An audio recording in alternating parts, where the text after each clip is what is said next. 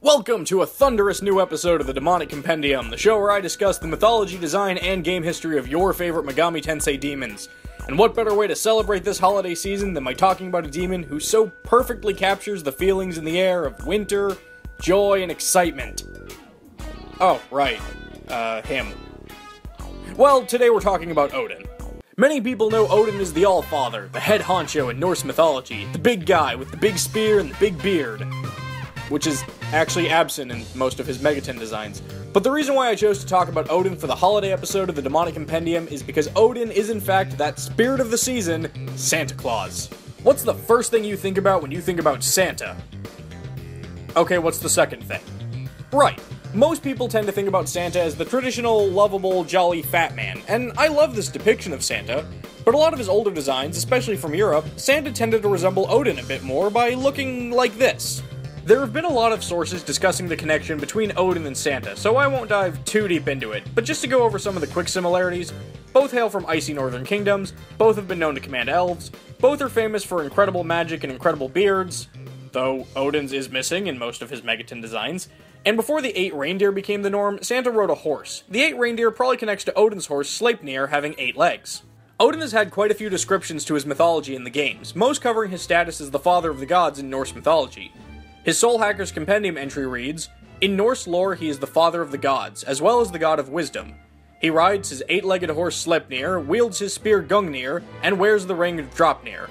He freely sacrificed an eye to drink from the well of wisdom. He also welcomes the souls of warriors to Valhalla. Odin has had a lot of different designs over the course of the Megami Tensei franchise, his first appearance ever being in the original Digital Devil story Megami Tensei, where he was a muscular bearded man carrying an axe. This design doesn't really connect to Odin too much, but this was a Famicom game from 1987. So back then, Odin was actually just an altered sprite that he shared with two other demons. It wasn't until the original Shin Megami Tensei when we got the design that most people are a bit more familiar with. That poor, beardless design most people are familiar with. Though I think it's worth noting that in his official artwork for Megami Tensei 2, Odin was shown with his beard fully intact. One of the most obvious touches of Odin's design here is his missing eye, which many people know he gave up to drink from the Well of Wisdom. And if you didn't know that, why not? I literally said it earlier in this video when I was reading his compendium entry. Come on, Jeremy, the rest of the class is on page 42. Kaneko's design of Odin probably relates to his description in the book from the Prose Edda, which states that Odin will enter the battle at Ragnarok wearing a gold helmet, an impressive cloak of mail, and carrying Gungnir. All three of these elements are depicted in Odin's design. Odin is also one of the few demons in the franchise to have a family resemblance to another demon in the series, as he shares a resemblance to Loki, who also has a head topped with gold, a naked purple body, and a white cloak.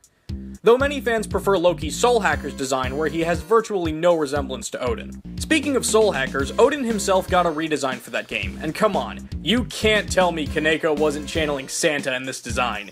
He's got the big white beard, the red and white cloak, bam, Santa. Get ready when he greets you at the gates of Val Ho Ho Holla. anyway, I really like his Soul Hackers design, and I'm a little surprised it hasn't made much of a comeback in the franchise yet. Also, Odin appears in Last Bible, where he kinda looks like Batman. I don't have anything extra to add to that. I just thought it was fun. As far as game history goes, Odin has been a part of this franchise since the beginning, and he's had a lot of roles throughout the different series. So for this segment, I'm just gonna focus on the ones that I think are the most noteworthy. In Shin Megami Tensei Nocturne, Odin gets a special conversation with Loki should you ever have the two converse. Odin gives the player side quests in both Shin Megami Tensei Strange Journey and Shin Megami Tensei 4.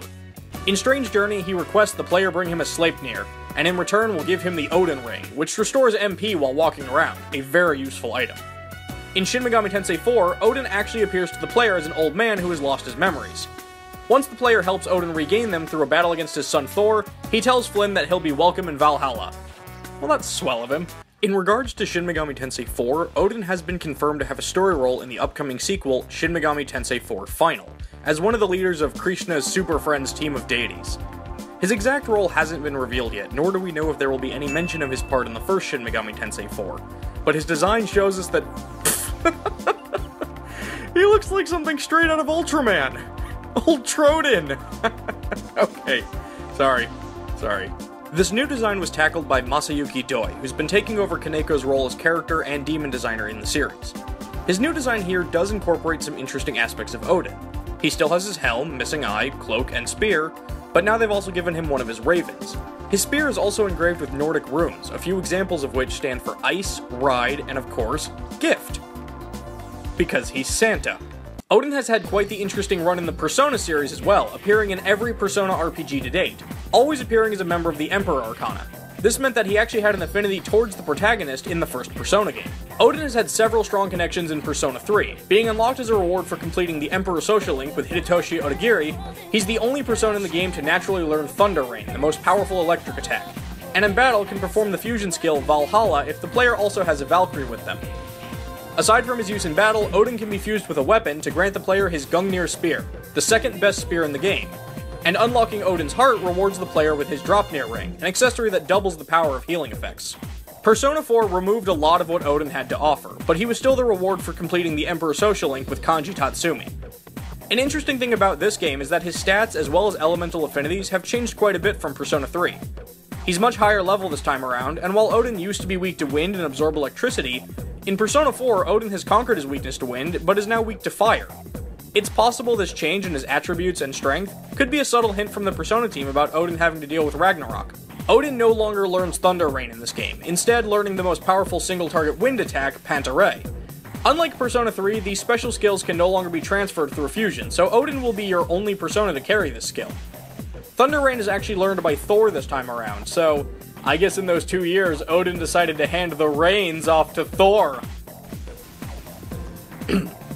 One of the last noteworthy appearances of Odin comes from Devil Survivor 2, where Odin is unlocked by reaching Fate Rank 3 with Fumi Kanno. Alongside Agares, these two demons connected to Fumi are both mythological figures symbolic with wisdom and intelligence, two fields that Fumi cares strongly about. Odin has appeared in almost every series in the Megami Tensei franchise, and is usually depicted as a very powerful and unique demon. But what would you expect? He's Santa for crying out loud. At his very lowest, Odin has always been at least level 30, and at his highest in Last Bible, he was level 85. It's no surprise that Odin is often one of the best demons in the franchise. So there you have it, Odin Claws, the spear-wielding spirit of the season. Did I leave out something you thought was important? Was I just plain wrong about something? Let me know in the comments below, and don't forget to let me know who you'd like to see me talk about in future episodes.